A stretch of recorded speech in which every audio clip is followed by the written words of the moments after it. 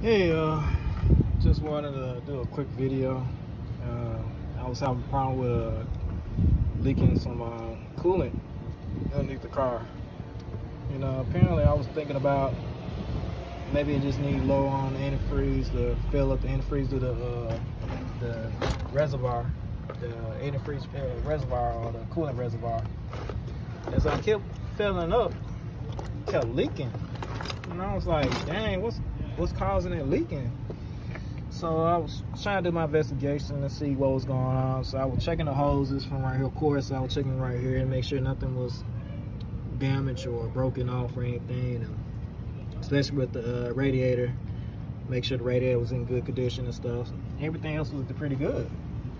So I kept doing my investigation, couldn't find it and I kept searching online to see what was the problem, which I couldn't find a solution for the problem. But sometime that uh, follow where the leak was going, and Lord behold, uh, I look behind here, and I notice there's this hose right here, which they call it the uh, the heater hose T, which is right here. I noticed this right here was broken off from this part right here, which I don't know how, but uh, from what I have did my research on it, they say apparently most Ford uh, vehicles, including the Ford Escapes, usually have most problems with this broken off for to be a uh, def defect, I guess, in a way. But when I noticed that it was kind of leaking and wet, and I noticed this part right here was broken off from this part angle or so. So that let me know exactly what was really going on. So I'm finna get ready to take this part off right here. This is like the whole assembly line right here.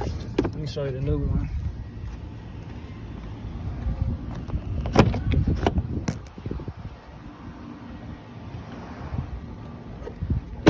This is uh, the new assembly line. This is called uh, the uh, coolant heater uh, hose T, which is shaped like a T or so and this is the whole part which is the assembly line it has to be it has to be the whole part of it. So I could make it more easier by taking this part off right here because really all I need is just this the part where it's broken off. All I really need is just if I wanted to I could just take this part off right here and uh, where the clamps are replace the little hose part and make it more simple easier.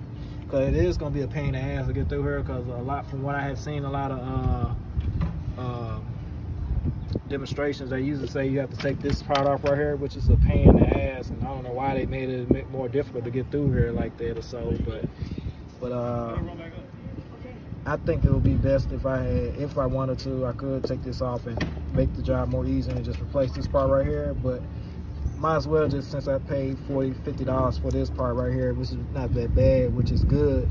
Could have been more expensive, but might as well just replace the whole thing, the whole assembly line and be done with. it. At least that way, you know, later on down the line will be no problems or nothing like that. Just get it out the way. So I'm gonna make a video of it real quick and get back with you guys on it.